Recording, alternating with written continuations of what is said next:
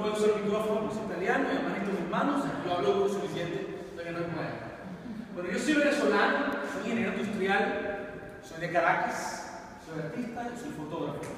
Yo nací artista mi casa, mi mamá es una artista increíble, ella me enseñaba, a, me enseñó a a pintar Grillo cuando estaba chiquito, y no importa cuánto se lo pinté, siempre me quedó mal, según ella. Estudié un cambio a Millán y siempre estuve muy interesado en la pintura, yo pinto en acrílico, me di cuenta que lo mío era la fotografía. Básicamente porque, como soy ingeniero, para mí el estudio de la luz es un estudio de la onda, vamos a entrar. Tengo dos años haciendo fotografía, este, estado, fue un descubrimiento porque estaba pintando y me di cuenta que yo quería pintar paisajes y buscaba la luz y buscaba, iba a tomar una foto al paisaje, que llegaba a mi casa y trataba de reproducir la foto en, en, el cuadro y me quedaban muy malos. Pero me quedaban muy malos porque la foto era muy mala. La luz no era lo que estaba buscando, era lo que quería, no podía representar lo que yo había visto en el canvas porque la foto que me traía no era suficientemente buena. Empecé a estudiar fotografía para mejorar mi pintura. En el proceso de estudiar fotografía para mi pintura, la verdad, terminé como fotógrafo. Cuando empecé, ok, soy fotógrafo, que bien, siempre salí del closet, soy fotógrafo, y no soy más pintor. Yo digo, ¿en qué imprimo? ¿Qué hago con esa foto? Yo no sé qué hacer, yo, yo, mi, mi, mi, mi media era el canvas. Yo empecé a buscar, estudiar, y estudié acrílico, y estudié metal, y me tropecé con un amigo de la Simón Bolívar que me dijo, yo acabo de inventar un proceso de imprimir en vidrio. ¿Cómo la cosa? Imprimir en vidrio. El tipo de la Simón Bolívar desarrolló un proceso de impresión, y claro, si me permite, yo traje aquí unas, unas muestras, porque eh, nadie me cree cuando yo hablo de hablar imprimir en. Yo imprimo en un polímero que está patentado por mi amigo, ¿qué es esto de aquí? Esto es plástico. Esto es un polímero. Esto es como si fuera un papel encerado, pero de, de, de plástico. Y con eso nosotros pasamos a un printer especial, especialmente diseñado para esto, y lo imprimimos y queda un poco más duro, pero la impresión queda así perfecta. Pero no queda tan nítida como uno quisiera, como el fotógrafo quiere que quede, queda un poco borrosa.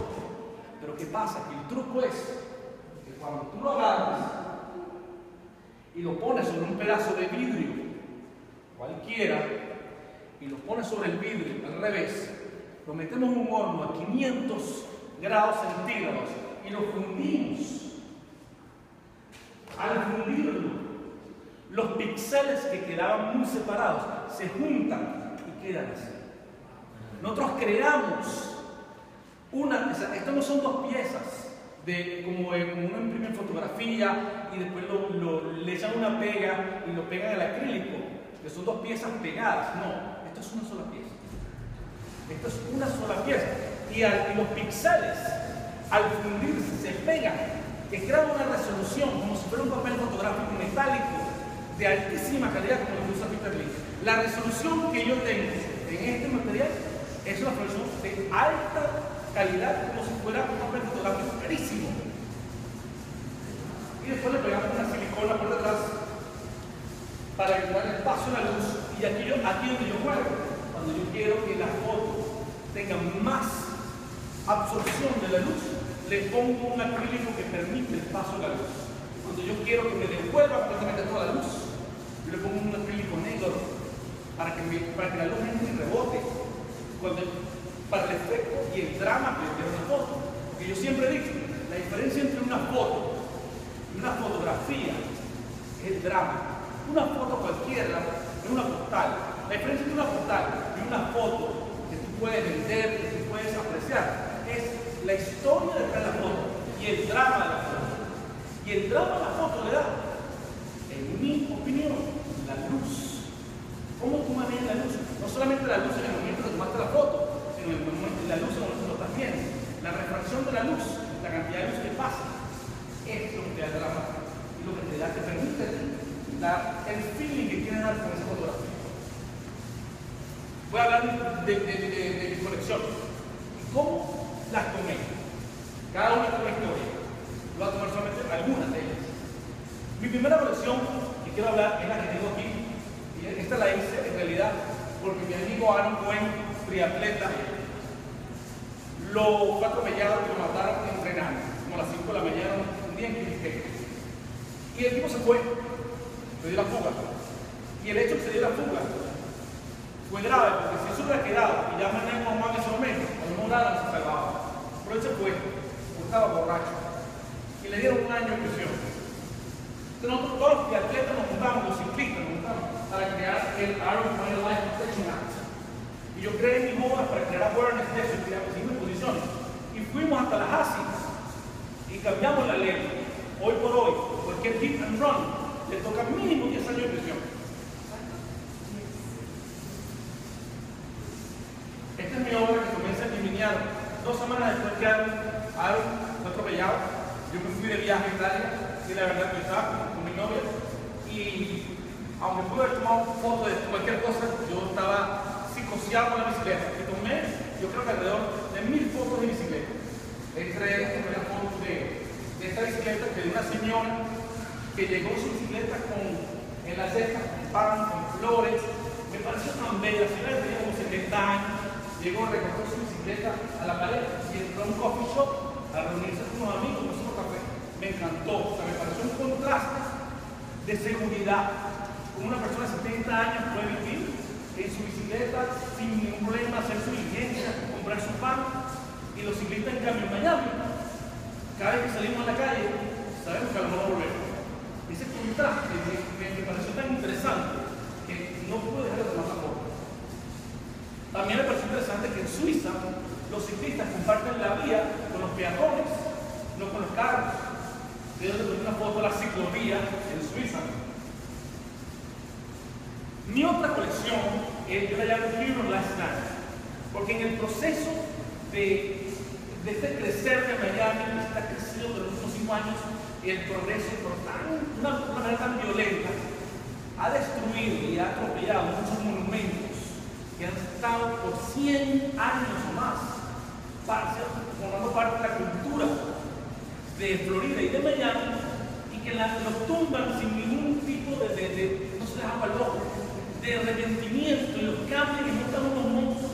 Y yo dije, no, yo quiero crear un récord de esos monumentos, que no son monumentos en realidad, son, pero sí son símbolos. Y uno de ellos es el Fear de Key Biscayne. Pero para tú tomar una foto, y esto ya es Photography 101, tú necesitas pararte muy temprano en la mañana. Porque la mejor luz es la de la mañana, cuando amanece, y en la noche, cuando, cuando al atardecer. Uno tiene que pararse muy temprano. Y uno tiene alrededor de 15 minutos para conseguir el ángulo perfecto. Porque el sol en 15 minutos pasa de allí a acá.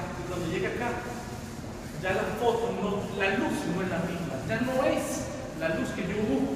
La luz que yo busco en el momento que el sol a medio se asoma en el horizonte, al momento que está aquí en el punto, son 15 a 20 minutos.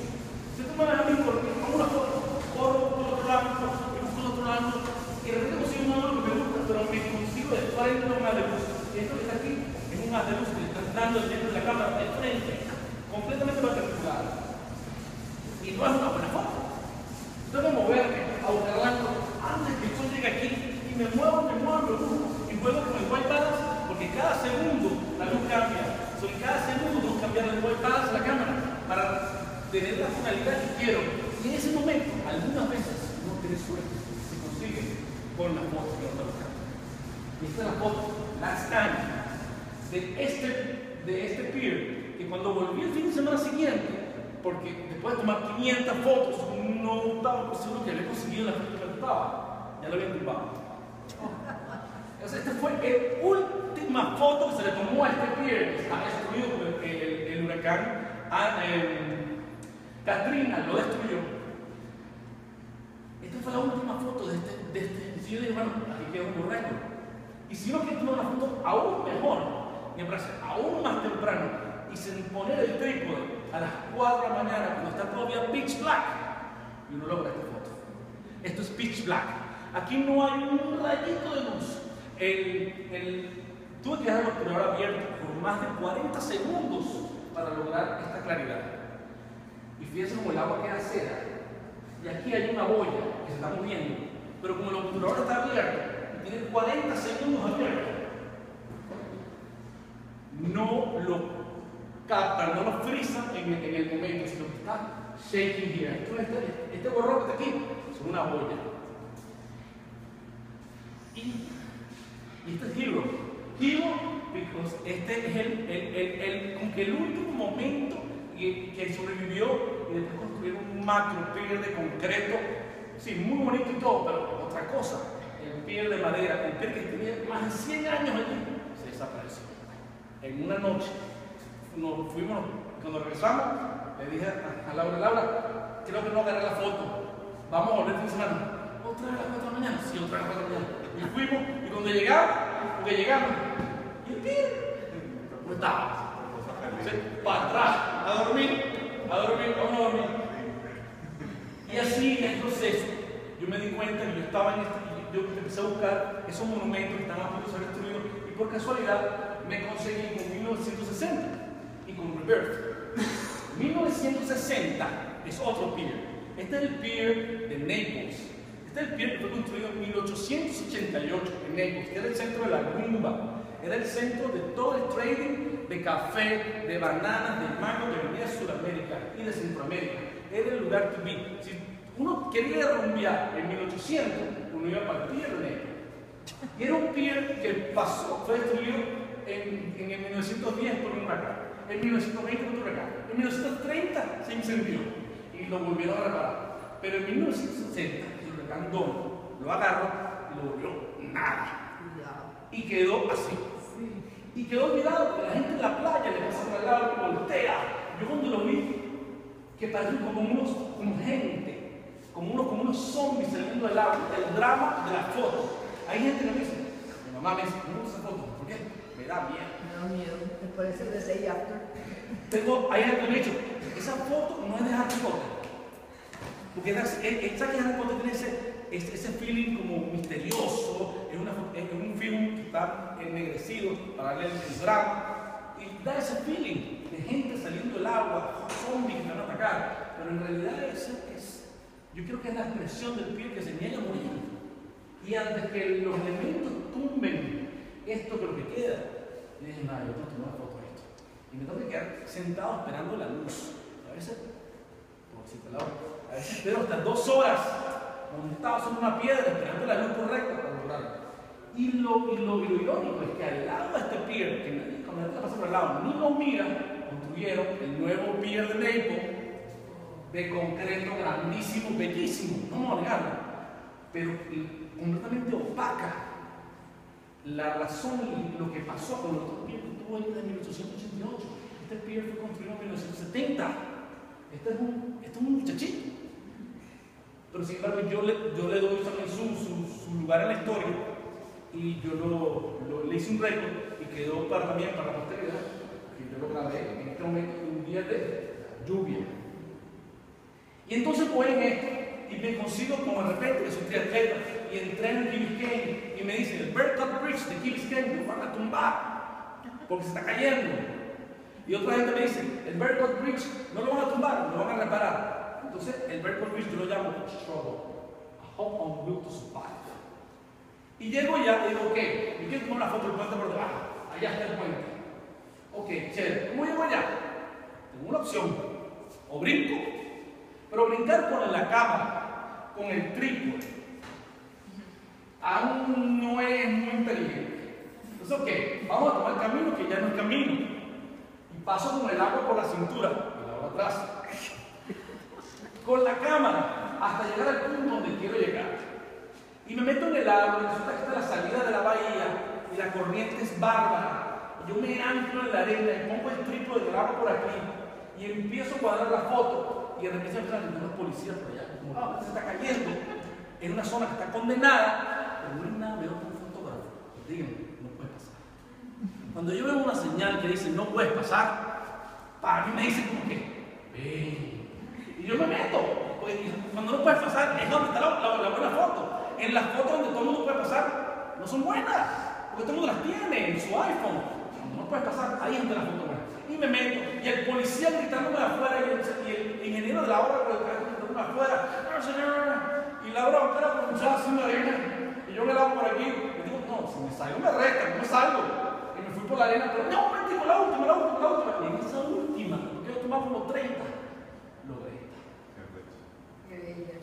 Y este el agua, la velocidad del agua, y le puse, y este, y tengo el policía afuera, me fui después en el agua por aquí, y el policía, no, if you, if I get out, you're gonna arrest me.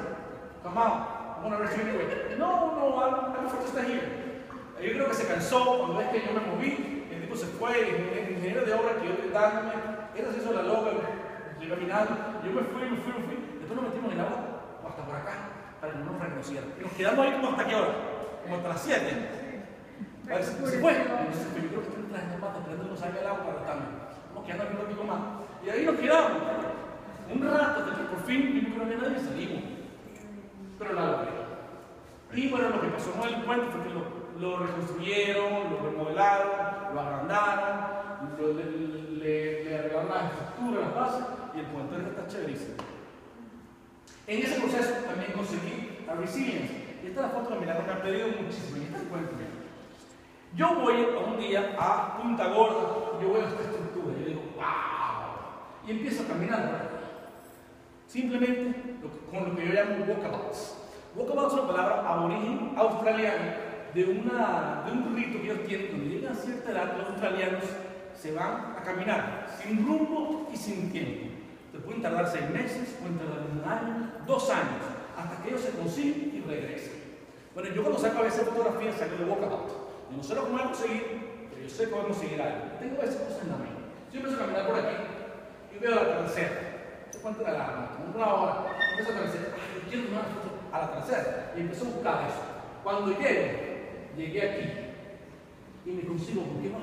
Con un pequeño pier, con un deck destruido y con un, aviso que decía ah, Don't trespass, trespassers will be persecuted by law, uh, peer danger, peer uh, falling down, una, una parte. Eso como me dijeron, pasa por aquí. Entonces yo paso por aquí, me bajo por un poste, me ven por aquí, esta estructura súper moderna, me bajo aquí, by the way, por aquí más coste pier, me bajo y comienzo a caminar por esta vía por aquí, esto está destruido, esto por acá, para poder llegar hasta acá. Y yo llego y pegué el brinco, le faltaba el pedazo de la tierra al, al, al deck, le faltaba un pedazo como de, metro y medio. Y pegué el brinco, pegué el brinco y se fue la tabla. Y, y la, la pata mía se, se enterró la ropa y me cayó así. Sí, La verdad, me asusté. Yo dije, no, yo estoy solo aquí, Laura está por allá con Valeria. Eh, Si yo me caigo aquí en el agua con cámara y todo, me vienen a conseguir mañana, amanezco flotando por mañana seguro. Y estoy, estoy en Punta Gorda, estoy diciendo, ¿sabes qué? Yo no voy a seguir, yo quiero esta foto. ¿Qué hago? Me acuesto y me pongo la no. Pero ¿qué pasa? Mis años de Jean-Claude Van Damme, del split, pasaron hace rato. Esto fue lo máximo que yo pude limpiar para tomar la foto. Así que para poder tomar la foto que quería, tuve que hacer un cropping y sacar a los pies y quedó mi foto. Y yo lo llamo a ella resilience porque él todavía se resiste al paso de la modernidad. Y aunque no, no la quieren y la van a tumbar, ella todavía está ahí. Again, esto fue mi último viaje hacia Portugal. Cuando yo veo una señal que dice peligro, danger, no traspase, yo digo, ¿sabes qué? O sea, ¿qué hago? Debo tomar una foto. Cuando la policía le pregunta qué fue lo que pasó, no sea como los cuentos de los cruceros, donde los el se suicida y siempre echa la culpa a la novia, que la empujó. Pero para que no le echen la culpa a ella, lo estoy haciendo aquí como un testamento, diciendo, sí, yo sabía que era peligroso, me metí todas maneras. Y bajé por los riscos de un acantilado y fui bajando, ahora güey, este, en paz mi trípode, no sobrevivió a la aventura, se quedó en el camino, este, tuve que comprar otro, me costó carísimo, con euros, mi pobre trípode se quedó ahí, pero logré bajar, logré ponerme en el, borde del risco, pero ¿qué pasa? Que en verano oscurece a las 9 y media de la noche, son las 6 de la tarde. La luz que me gusta a mí es la luz del twilight. La luz del twilight empieza a las 10 de la noche. La hora está arriba.